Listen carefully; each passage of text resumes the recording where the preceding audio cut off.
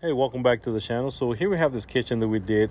We just did a reface. Basically, we took all the old doors and drawer fronts and just did new drawer fronts, new doors, new drawer boxes, new hinges, soft close hinges, soft close drawer slides. As you guys know, the kitchen is one of the most expensive items to redo that's gonna cost you quite a bit whenever you do a kitchen renovation. So in this case, we just did the fronts and of course we painted all the inside and outside. And with the money that the homeowner saved she was able to put some new countertops new backsplash tile and uh, quite a few other things. So hopefully you guys like this video.